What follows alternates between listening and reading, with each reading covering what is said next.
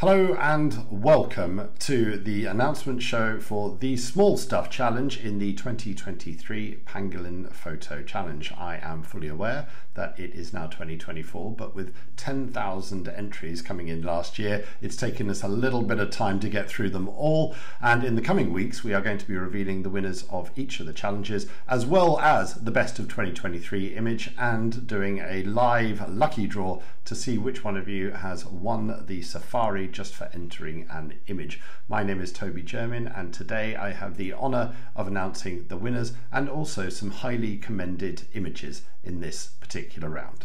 So before I announce the highly commended and winning image of this round, let's remind ourselves of what that individual is going to win. They will get a four night stay at the Pangolin Chobe Hotel in northern Botswana. This fabulous hotel will take great care of you, and during your stay, you'll go out into the Chobe National Park on our game viewers and photo boats, along with the Pangolin photo host that you know so well from this channel. If you've decided that you wanted to come to Botswana for a little bit longer, then we will happily exchange this prize package for a voucher for 2,500 US dollars that you can put towards any safari on our website. That's quite a prize. The first of the highly commended images is this beautiful image from Brian Kelly called A Snail's World Unveiled. Now, the immediate thing that catches my eye here is the spectacular iridescence of the shell. I don't think I've ever seen a snail looking quite as magnificent as this. From the description, uh, Brian took a photograph of this snail at a bird bath, uh, but it has this amazing sort of ethereal, otherworldly uh, nature to it. I can't quite describe it. It looks like it's almost transporting itself up the side of a rainbow. Anyway, Brian, beautiful, beautiful image, and thank you for entering. Um, the next image we have is a emerald glass frog, which I believe was taken in Costa Rica.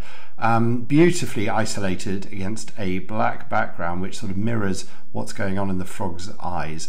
Um, but you, I'm surprised you even saw this frog, quite honestly, because it is so amazingly camouflaged. But a beautiful, beautiful image, and the pose of the frog is um, is very enchanting. So congratulations, Matthias. Very lovely image. Next up, we have a photograph that I initially thought might have been a sort of a composite of two images put together, but reading the description, um, Marjon Minders, I hope I've pronounced that correctly, actually described this as possibly the most popular flower in, uh, in the garden, wherever it was taken, as there was already one butterfly on the flower, and this was a second butterfly arriving, whether or not it was going to try and dislodge.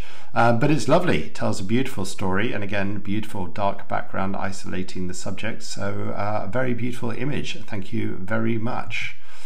Um, next up, we have an underwater image, if you hadn't guessed already, from Frank Bagan, um, called The Next Generation. Now, I have huge respect for underwater photographers because it is so, so difficult to do. Uh, but now, specifically, macro photography underwater takes it to a whole new level. And this, I believe, is an arrow shrimp and only about two centimeters long. So, spotting it, managing to photograph it, and get it in focus whilst you're moving and it's presumably moving as well, I think taken in the waters around Honduras is a real, uh, it's a real treat to see. And made even more so by the fact that it it looks like this shrimp is either carrying eggs or is so translucent you can see the eggs through it. So a really beautiful image. Thank you very much for sharing. Um, next up, we have an image by somebody, I assume it's from maybe Greece or Cyprus, uh, Panayotis Georgios. I hope I've pronounced that correctly. Um, this is a very interesting vantage point of a dragonfly, which looks to be like it's peering out from amongst the clouds. So, yeah, a beautiful, beautiful, striking image. And uh, thank you very much for sharing this. It is absolutely wonderful. So, there we go. Those are the highly commended images. Now, before I announce the winner of this challenge, I want to let you know that the Pangolin Photo Challenge 2024 is now open. If you took part last year, then you are already eligible to take part, so please go ahead, log in, and start putting your entries into the challenge. If you haven't taken part so far, then all you have to do is become a Pangolin Guardian. Now, to become a Pangolin Guardian is very simple. All you need to do is a 15 minute online course which will teach you all about pangolins. And as soon as you've finished, you will be eligible to enter the Pangolin Photo Challenge and all the challenges in the future. So please follow the link in the description down below, become a Pangolin Guardian, and then you will be able to enter this year's challenge. And so here we have it. This is the winning image in the small stuff round of the 2023 Pangolin Photo Challenge. It's a beautiful image taken by Diana Widman or Vidman um, called Courting Green Toad. I think the judges particularly like this image because it's it's very ethereal. Uh, the light behind, based on the description, is actually from streetlight. So this is a nocturnal toad. So this is maybe taken by the side of the road um, in a puddle. You can see on the right hand side there looks like what looks like gravel. Um, it just goes to show that you don't have to go to uh, Africa to go and take amazing photographs like this. I really shouldn't be saying that. Um, but Diana, this is a really beautiful image. You can see he's courting. You can see the expanded uh, neck, which means he is in the process of calling out for a mate.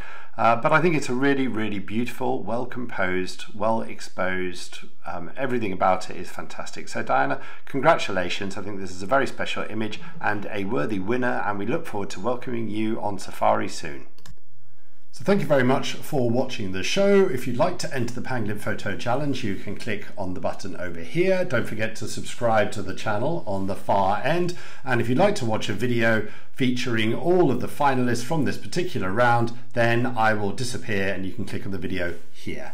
Thank you for watching. Bye-bye.